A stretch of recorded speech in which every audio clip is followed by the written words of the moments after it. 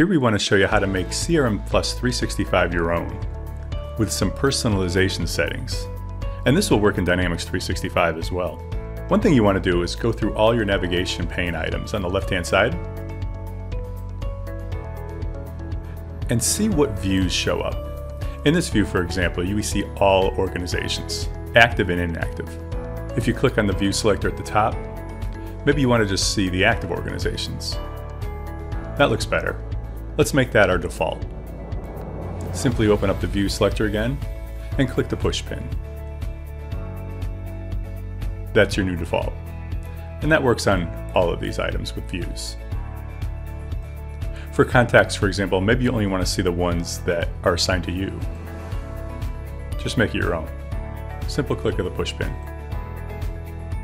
Now when you go back to these, they show up automatically. It even works with personal views. If you click on the view selector again, at the top we have one called Colorado Customers. And this is a personal view, so only the current user sees that.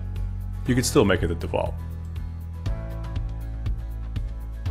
This will work on dashboards as well.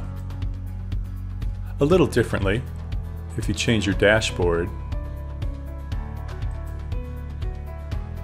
you can make this your default dashboard by clicking the Set as Default button.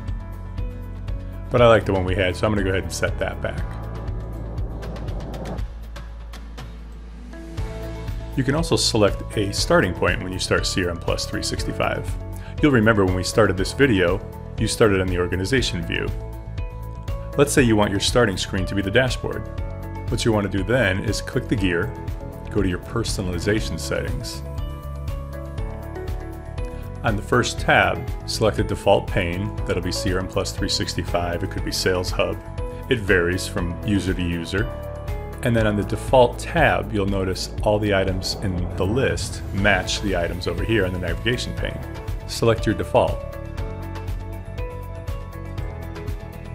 And while you're here, as we've discussed in a previous video, you definitely want to maximize the number of records you see on the page and set your advanced find mode to detailed. Click OK. Now the next time you start the program, you'll start right here on your dashboard and all your views will be pre-selected. If you'd like to learn more about how we can use CRM Plus 365 or Dynamics 365 to help you grow your business, reach out to us today at www.p2automation.com.